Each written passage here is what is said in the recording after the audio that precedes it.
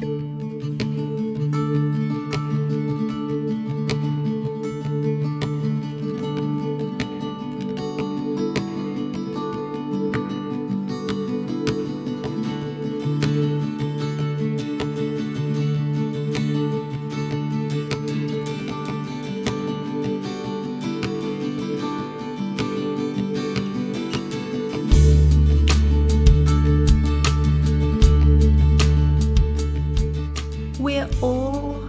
invested in stories, whether it's stories of what you've done in the past, what your ancestors have done.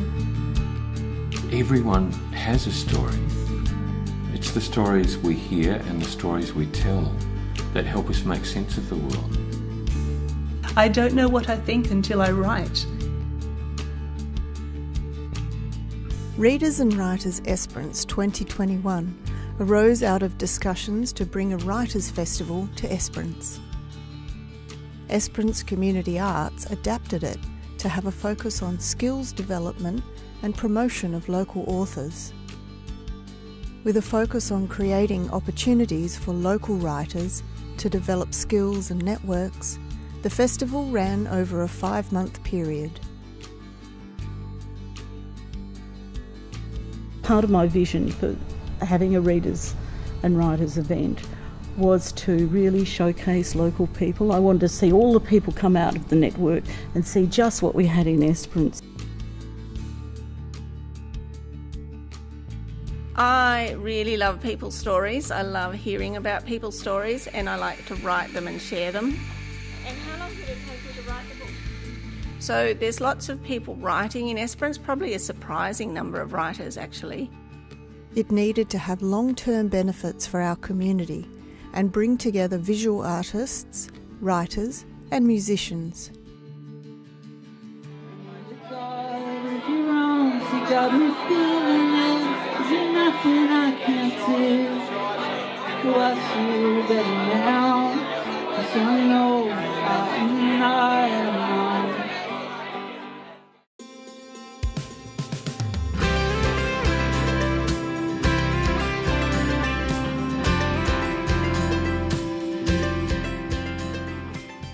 Five month program integrated a number of community projects and was presented by a combination of visiting and local authors.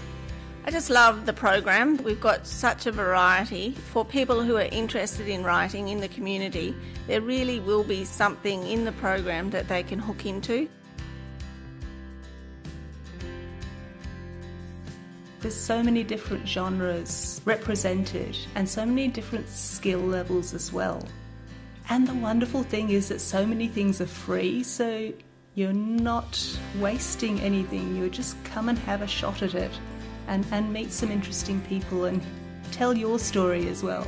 If we get together that all the Esperance writers and bring in people who've succeeded in writing from further abroad in Western Australia, it just fosters that sort of art form.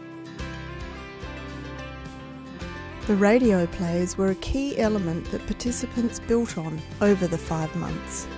I actually went to the session just to watch other people and how they were going to go about writing their radio play, only to discover that I was going to be writing one too. I would not have completed my radio play had it not been for some very caring champions. There was this sense that everyone was supporting everyone else. One participant's radio play experience led to a whole new way of engaging with and presenting her written work, originally developed for theatre. So I actually learned how to use the Audacity program, um, which I found wonderfully creative, and uh, and I then actually set about uh, uh, recording a whole body of my work and put sound effects, music, and so on to it. She attended the script writing workshops on the assumption that someone else with the technical skills would be preparing her play for radio, but then took up the opportunity to learn how to record and edit it herself with the support of Hope FM Community Radio.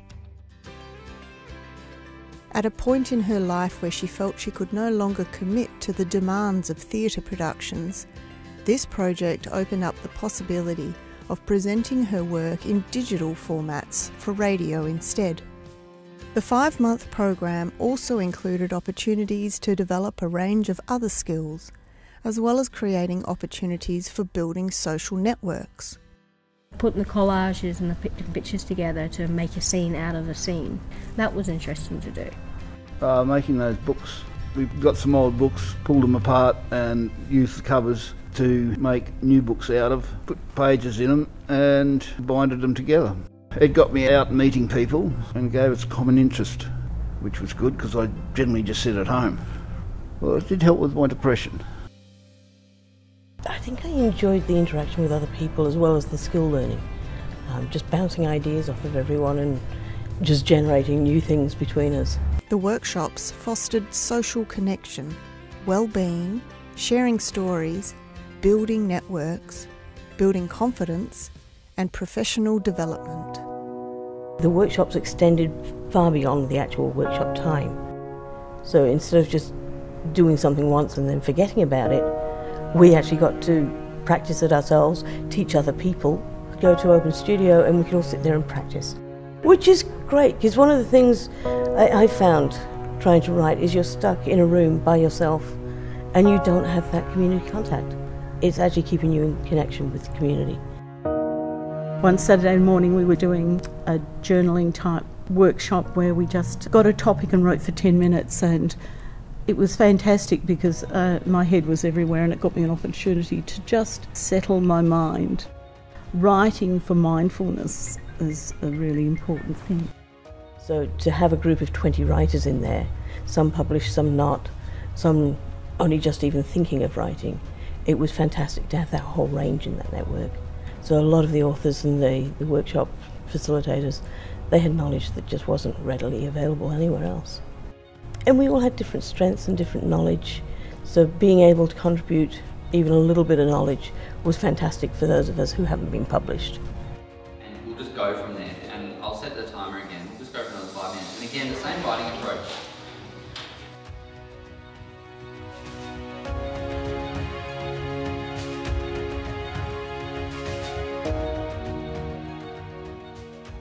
It was centred around the theme of writing, whereas you, if you talk in most clubs, it's not actually on writing, the process of writing.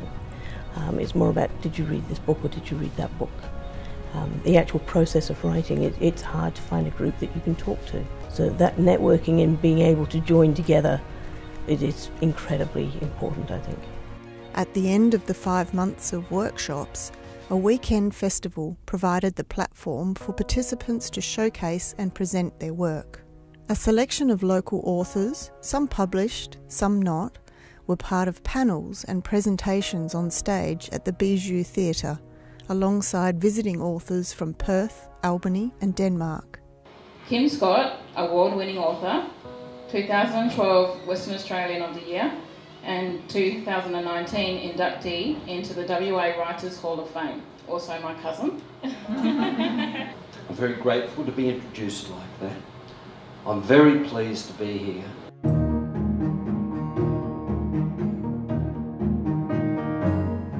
The panels included writers and authors from across the South Coast, building a regional network of diverse cultures and backgrounds, writing across a multitude of genres and formats. Um, being on the panel was with them was really good because I don't really like talking in public. But yeah, I was really, really comfortable with them. I felt like we bounced off each other when we were on stage. It was really good to have the diversity of authors that were there, talking to people, giving them advice. I think talking about the things I'd done wrong and what I shouldn't have done was helpful for people sitting in the audience. To see local authors and writers sitting with the professional um, authors on panels, holding their own, uh, speaking from you know their own experience was a really powerful thing I think to see. I had no idea there were so many writers in Esperance having the festival at the end where other people could come in and see what everybody had done was great because that got it out into the wider community.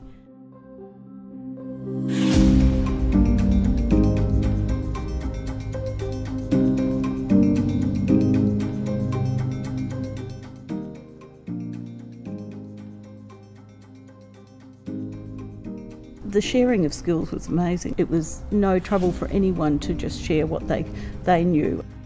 12 local schools also participated in the project, hosting five visiting authors and illustrators and two local authors to run workshops and give presentations for students of all ages as part of the final event at the end of May.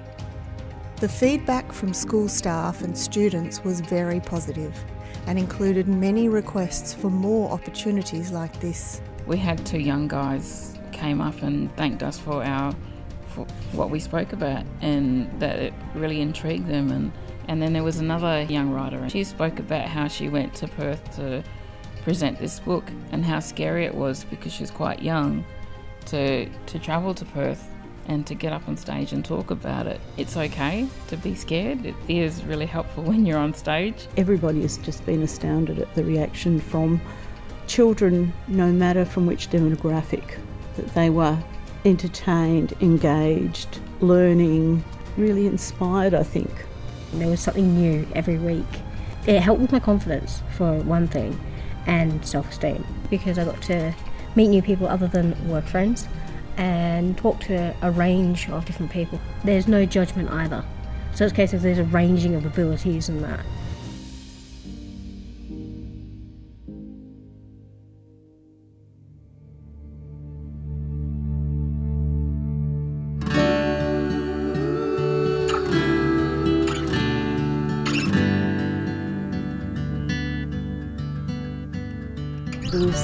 A sense that people were building skills over time, which I think is always useful. Then you're likely to keep them and be able to then use them in the future. And I think that's the great thing about this project is that there is going to be some ongoing things that happen from it. This network of people who are all connected and all with the same vision.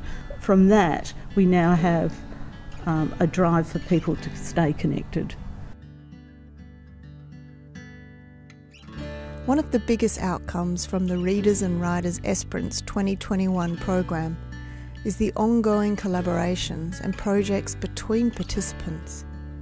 This includes a new network of local writers interested in publishing their work who now meet monthly to share drafts and provide constructive feedback on each other's work. A community of readers and writers, that's, that's exactly what I'm after. So many people write alone um, and they don't show each other their writing. And to get together is encouraging because it can be incredibly scary to show someone else your writing. It's like baring your soul. There is some magic in it. yeah.